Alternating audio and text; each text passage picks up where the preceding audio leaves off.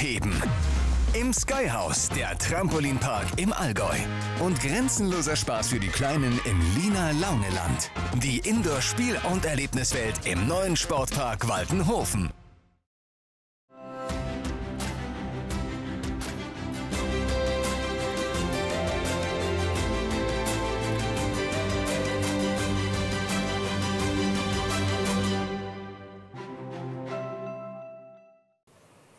Hier sind die Allgäu TV Nachrichten am Freitag. Große Show. Polizei präsentiert Tricks der Einbrecher. Große Eröffnung. Biomarke mit neuem Besucherzentrum und großer Fund. Kemptener Ausgrabungen überraschen bundesweit. Großes Finale. Der Oktober gibt auf seinen letzten Tagen nochmal richtig Gas. Die Tage werden spätestens mit der Zeitumstellung am Wochenende kürzer, die Nächte länger. Das bedeutet leider auch, es ist Einbruchssaison, denn gerade im Herbst und Winter steigen die Einbruchszahlen. Wie kann man sich also schützen. Genau dafür hat die Polizeiinspektion in Memmingen jetzt einen brandneuen Showroom. Dort können Einbrüche simuliert werden und eben auch, wie man sich dagegen wappnen kann. Passend zum anstehenden Tag des Einbruchschutzes am kommenden Sonntag ist er jetzt in Betrieb gegangen. Ein kurzes Knacken, einen Moment später ist das Fenster auch schon geöffnet und die Alarmanlage blinkt.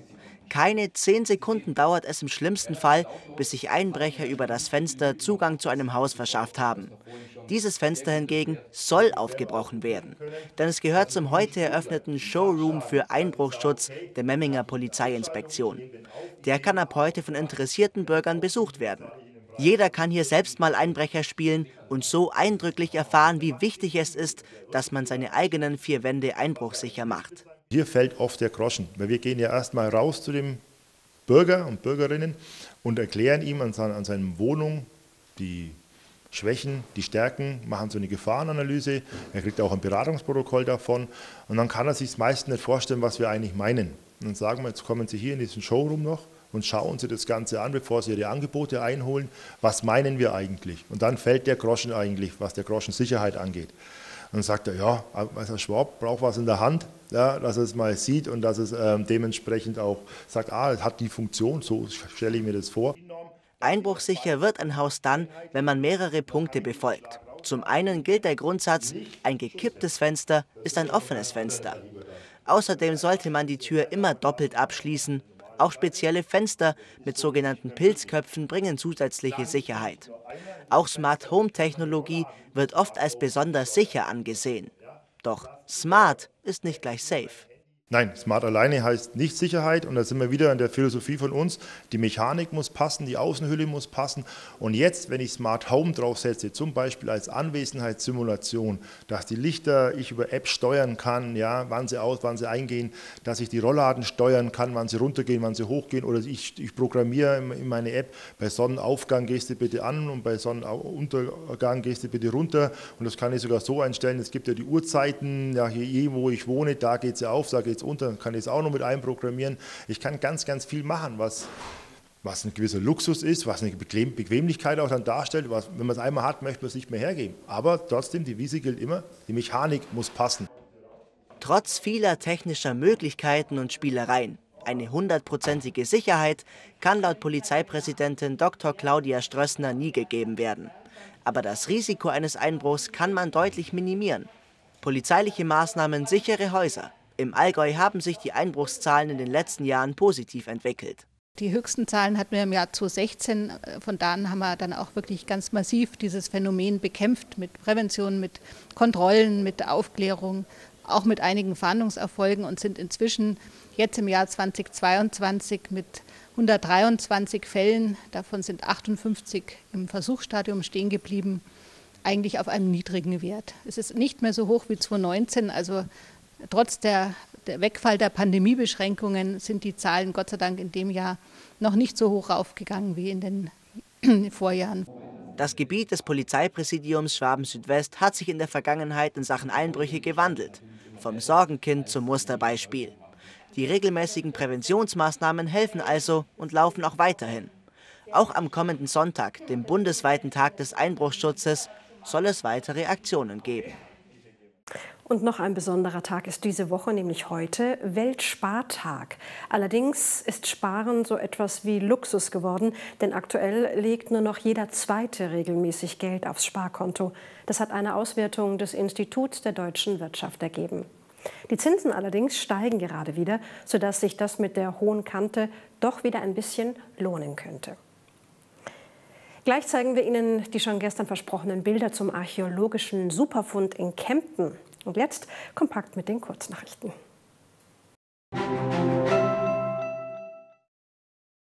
Mit AZ Leserreisen die Welt erleben. Traumhafte Karibik auf der Costa Pacifica oder Winter in Nordnorwegen. Faszinierende Erlebnisse und Polarlichter nördlich des Polarkreises. Entdecken Sie unsere Frühlingskreuzfahrt mit der Costa Smeralda, Sonnenziele im Mittelmeer oder Winterwunder in Finnland. Hundeschlittenfahrt, Rentierfarm und Meer im Finnisch-Lappland. Sonne tanken, Winterzauber, Kultur. Mit uns die Welt erleben. Die AZ Leserreisen. Mehr auf az-leserreisen.de. Mega Fernsehen. Waipu TV mit über 200 TV-Sendern. Das erste ZDF, RTL, Vox Sat1, Pro7 und viele mehr. Ganz ohne Kabelbuchse, Satellitenschüssel oder Antenne. Für Fernsehen in jedem Raum. Für alle Geräte im WLAN mit bis zu vier verschiedenen Streams gleichzeitig. Jetzt einen Monat kostenlos testen im App Store oder auf waipu.tv. Waipu TV, Fernsehen wie noch nie. Auf den Puck gebracht. Joker TV. Sehen Sie die besten Eishockey-Momente vom Spielwochenende des ESV Kaufbeuren mit den Highlights der Heimspiele. Der Blick über die Bande zu Trainern, Spielern und Zuschauern. Joker TV. Das ESVK-Magazin auf Allgäu TV. Immer montags um 19.30 Uhr im Kabel. Weitere Sendetermine und Infos unter allgäu.tv. Präsentiert von Höbel, Ihr kompetenter Partner für Bau, Umwelt und Immobilien. Versammlung, Diskussionsrunde, Trauerfeier, Präsentation, Schulung oder Studioaufzeichnung. Wir sind Ihr Partner für Streaming und Aufzeichnungen. Interessiert? Melden Sie sich unter streaming at allgäu-tv.de. Ich schütze mich, weil ich in Quarantäne keiner Leben retten kann.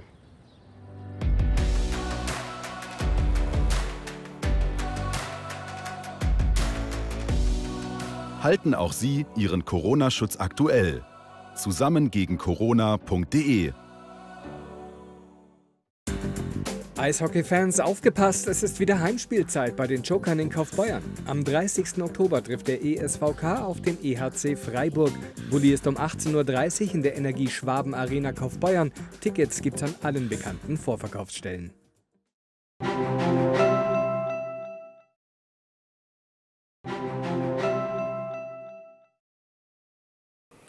Da sind wir wieder und haben alles Wichtige im Nachrichtenblock für Sie zusammengefasst. Urteil vertagt. Das aktuell laufende Verfahren rund um den Allgäuer Tierschutzskandal, welches gerade am Memminger Landgericht verhandelt wird, zieht sich weiterhin. Eigentlich war der gestrige Donnerstag als Tag der Urteilsverkündung angesetzt, doch unter anderem Krankheitsfälle und Nachladungen von Zeugen sorgen nun dafür, dass das Urteil voraussichtlich erst Ende November fallen wird.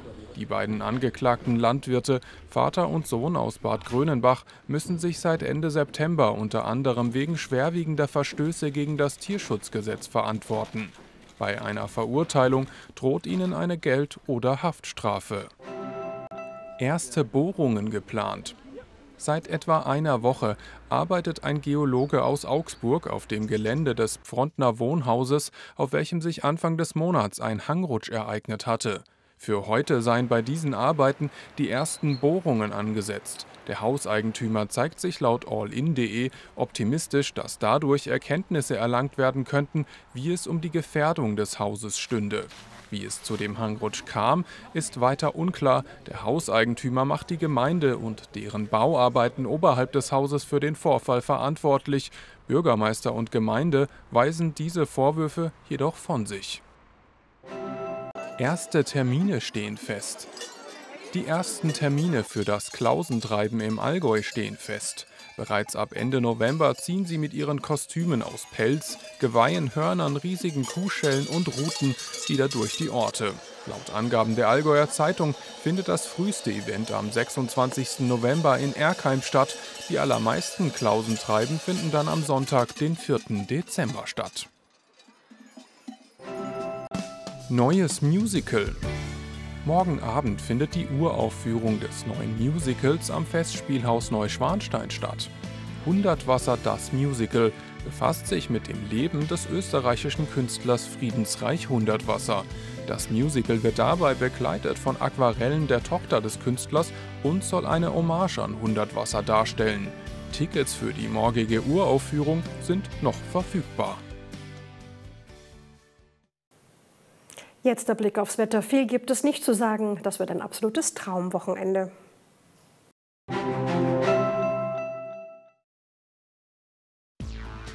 Die Nacht zeigt sich teils klar, teils bewölkt bei Werten zwischen 9 und 13 Grad. Wir starten in ein traumhaftes Herbstwochenende. Morgen Vormittag halten sich noch ein paar Wolken- und Nebelfelder. Die Werte liegen trotzdem schon zwischen 19 und 22 Grad. Am Nachmittag wird es dann sogar noch wärmer. Mit Werten bis 24 Grad wird morgen per Definition sogar fast ein Sommertag und das Ende Oktober. Auch die Berge laden nochmal zum Wandern ein. Außer auf dem Nebelhorn bleibt es überall zweistellig. Der Gründen schafft es sogar auf bis zu 20 Grad. Achtung, auch Ende Oktober ist Sonnenbrand nicht auszuschließen. Auch der Sonntag zeigt sich dann außergewöhnlich warm und sehr freundlich. Am Montag bleibt es mit Werten bis 20 Grad warm, es wird jedoch etwas wolkiger. Der Feiertag dann ebenfalls recht freundlich, wenn auch mit bis zu 16 Grad etwas kühler. Für November aber wohl immer noch sehr mild.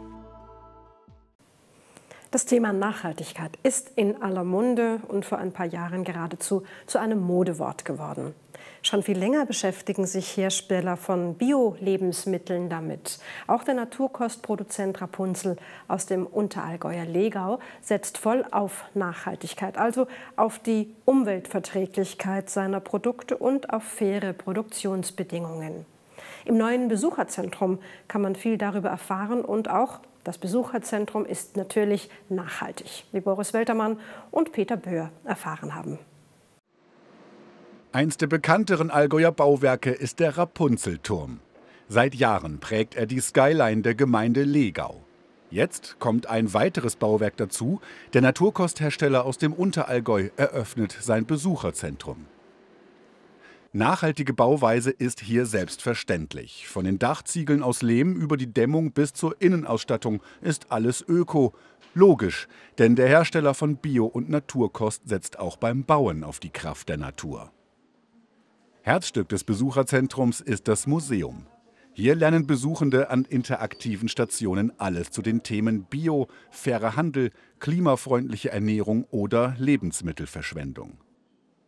Natürlich ist das Besucherzentrum auch ein marketingstrategischer Schachzug von Rapunzel.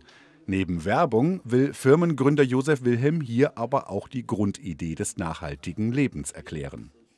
Wir sehen eigentlich das schon als unsere Aufgabe, also äh, da äh, eine Vorbildsfunktion auch wahrzunehmen also, und den Menschen äh, Unterstützung zu bieten, äh, wie kann ich gesunde, gesunde leben, also damit ich mich wohler fühle, ist ja die Basis von allem am Ende. Ja. Die Basis der Wärmeversorgung des ganzen Gebäudes ist die hauseigene Kaffeerösterei. Die komplette Abwärme, die beim Kaffeerösten entsteht, wird genutzt, um das Besucherzentrum zu heizen. Für die Verarbeitung des Kaffees braucht es aber Gas. Das kauft Wilhelm bei einem Biogashändler ein. Bis jetzt liefert der auch noch. Energie regional beschaffen und selbst erzeugen. Bei der momentanen Lage macht das erst recht Sinn, so Josef Wilhelm. Also unabhängig von so hoffentlich nur kurzfristigen äh, Energieengpässen, wie wir sie jetzt im Moment erleben, haben wir eine langfristige Energiestrategie. Also zum Beispiel unser eigenes Holzhackschnitzelwerk hier. Ja. Oder wir haben auch ein Blockheizkraftwerk hier, wo wir auch Strom produzieren und Abwärme, weil das eine optimale Ausnutzung äh, der Energie, in dem Fall von Gas. Ja. Und von daher glauben wir, dass uns also so eine Phase nicht so stark treffen wird wie andere, ja, die immer schon am Limit arbeiten. Draußen wie drinnen zieht sich das Thema Nachhaltigkeit wie ein roter Faden durchs Gelände und auch durch die Firmengeschichte. Und gespart wurde nicht, muss auch gar nicht, denn knapp 50 Jahre nach der Eröffnung des ersten Bioladens macht Rapunzel mit seinen Bio-Lebensmitteln einen Jahresumsatz von rund 240 Millionen Euro. Wirtschaftlichkeit und Nachhaltigkeit schließen sich nicht zwangsläufig aus. Wir haben Gott sei Dank sehr frühzeitig erkannt, ja, dass sich Ökologie und Ökonomie nicht ausschließen, sondern im Gegenteil eigentlich bedingen. Weil nur wenn ein Unternehmen auch ökonomisch, also äh, wirtschaftlich, also arbeitet, ja, ist man in der Lage, ökologische Themen dauerhaft umzusetzen. Ja. Von daher bauen wir auf die äh, vier Säulen der Nachhaltigkeit, also Ökologie, Ökonomie, Soziales und Kultur. Ja. Das sind eigentlich so die Stützen äh, der Nachhaltigkeit für uns. Ja. Auf denen basieren eigentlich alle unsere Unternehmenswerte und Inhalte. Drei Jahre wurde gebaut, 32 Millionen Euro hat sich die Firma das Zentrum kosten lassen. Rund zwei Drittel davon gingen an Bauunternehmen aus der Region. Auch das passt zum Thema Nachhaltigkeit. Ab diesem Wochenende sind das Besucherzentrum und das Museum geöffnet. Der Eintritt ist frei. Im heimlichen Wettstreit mit Trier, wer denn nun die älteste Stadt in Deutschland ist, ist ein echter Allgäuer natürlich der Meinung, dass es sich dabei nur um Kempten handeln kann. Jetzt gibt es zumindest einen weiteren Beweis dafür, wie wichtig unsere Region für die Römer war. Neueste Ausgrabungen im Cambodunum waren für die Presse gestern zu besichtigen. Gleich die Bilder dazu.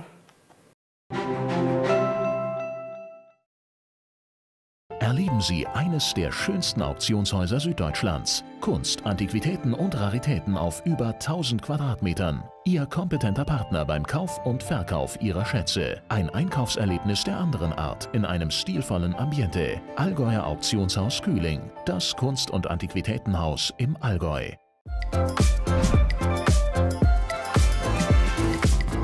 TV Bayern Live zeigt Ihnen Bayern von seinen schönsten Seiten. Immer samstags 17.45 Uhr auf RTL Bayern und sonntags auf allen 14 bayerischen Regionalsendern.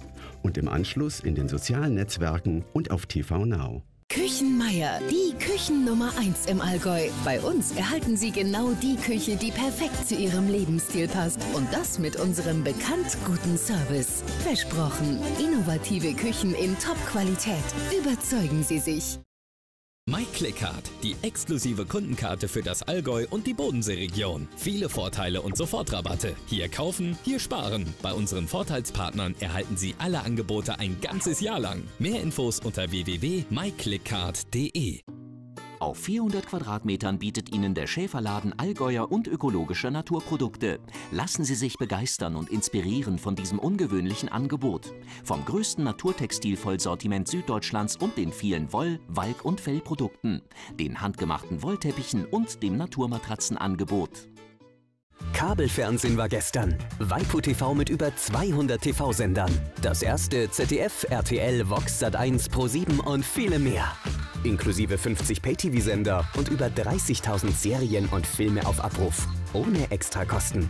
Nehmen Sie Sendungen einfach per Klick mit dem Online-Speicher auf. Springen Sie mit der Restart-Funktion an den Anfang der laufenden Sendung zurück. Für alle Geräte im WLAN mit bis zu vier verschiedenen Streams gleichzeitig. Jetzt einen Monat kostenlos testen im App Store oder auf waipu.tv. Waipu.tv, Fernsehen wie noch nie.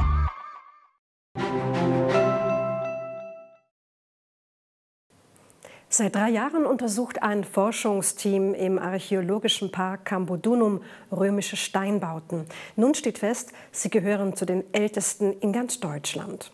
Welche zentrale Bedeutung die Steinbauten mit Wohnhaus und Thermenanlage haben, wir haben die Antwort. Es ist ein süddeutschlandweit einzigartiger Fund. Die römischen Steinbauten aus dem ersten Jahrhundert nach Christus. Im Kemptener APC-Park, dem Archäologischen Park Cambodunum, haben Archäologinnen und Archäologen weit Bedeutsameres ausgegraben, als sie erwartet hätten, sagt Professor Dr. Salvatore Ortisi, wissenschaftlicher Grabungsleiter der Ludwig-Maximilian-Universität München. Erwartet haben wir die Überreste dieser römischen Stadt aus dem ersten Jahrhundert nach Christus. Ähm, gefunden haben wir sie tatsächlich, aber in einer viel, viel besseren Erhaltung, als wir uns das so, als wir zu hoffen gewagt haben. Zutage kamen bei den Ausgrabungen der letzten drei Jahre ein Wohnhaus, eine kleine Thermenanlage, Mauern, sehr gut erhaltene Fußböden und Wandmalereien. Wir stehen hier mitten in einem der wichtigsten römischen Wohngebäude der Römerstadt Camudunum, direkt gegenüber des römischen Forums, gegenüber der Hauptplatzanlage, also das Westend von Camudunum. Da haben wirklich auch die wichtigen Familien, die wichtigen Römerfamilien des Ortes gelebt. Und wir haben hier einen exzeptionell gut erhaltenen Häuserbefund, den wir großflächig freilegen konnten. Die Mauern machen deutlich, dass es mindestens noch ein Obergeschoss gegeben hat. Durchaus denkbar sind auch zwei Obergeschosse. Mittlerweile haben wir auch Räume hier im Grundriss äh, identifizieren können, die als Treppenhäuser gedient haben dürften. Also das ist recht sicher schon. Also wir haben einen mehrgeschossigen Bau. Gebaut wurden die Steinbauten in den 20er oder 30er Jahren nach Christus. Damit gehört Insula I, so wird die antike Wohnbebauung hier bezeichnet, zu den ältesten Steinbauten nördlich der Alpen. An den Grabungen beteiligt sind neben dem Fachbereich für provinzialrömische Archäologie der Ludwig-Maximilian-Universität München und dem Bayerischen Landesamt für Denkmalpflege auch die Stadt Kempten. Die Ausgrabungen haben für Kempten eine besondere Bedeutung.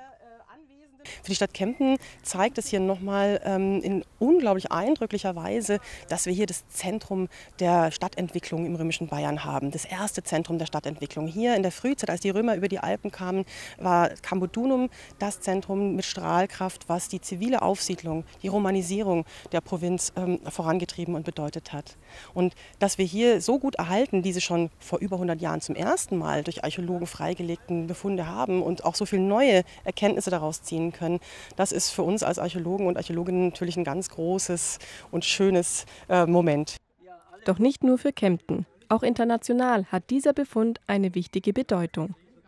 Es spielt aber auch natürlich äh, überregional international eine Rolle, weil wir hier mit der Erschließung einer Provinz im Norden des Römischen Reiches äh, sowas wie Modellcharakter, Modell fassen können, dass sie auch in Gallien, also im heutigen Frankreich, äh, in Ansätzen erwischen, dass sie später dann auch in Britannien, in England und Wales ähm, fassen können.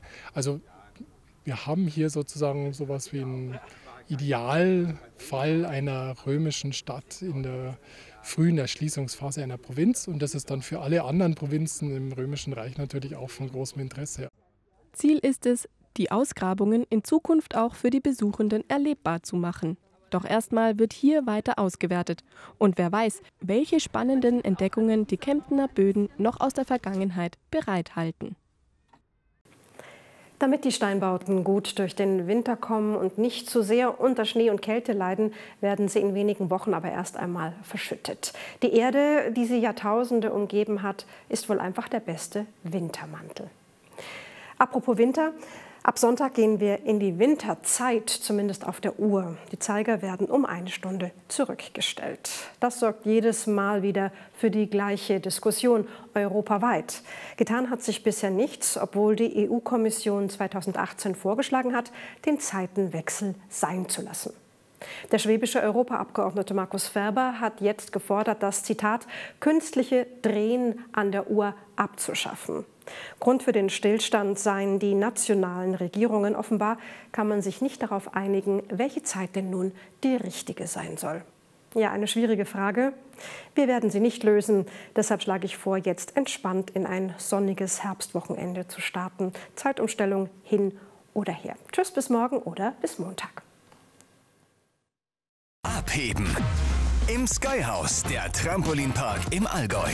Und grenzenloser Spaß für die Kleinen im Lina Launeland. Die Indoor-Spiel- und Erlebniswelt im neuen Sportpark Waldenhofen. Es folgt ein sozialer Appell.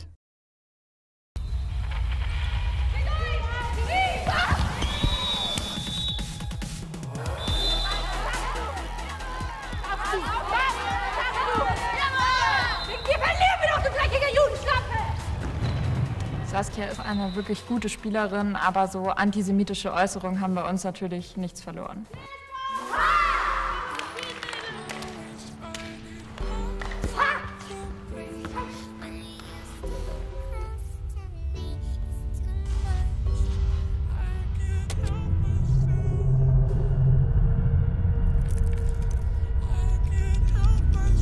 Hey Saskia. Es war wichtig, mit Saskia darüber zu sprechen.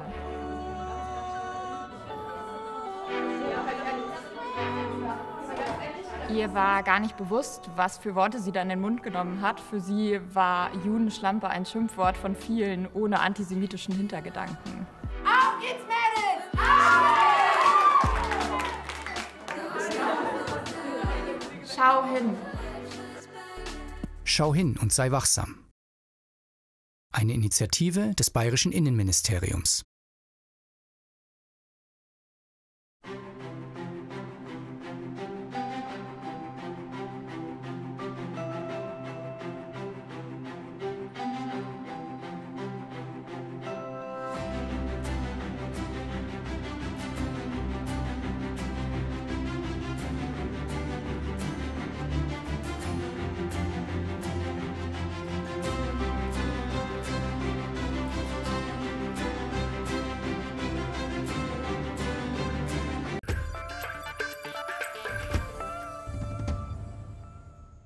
Willkommen zu Plenum TV.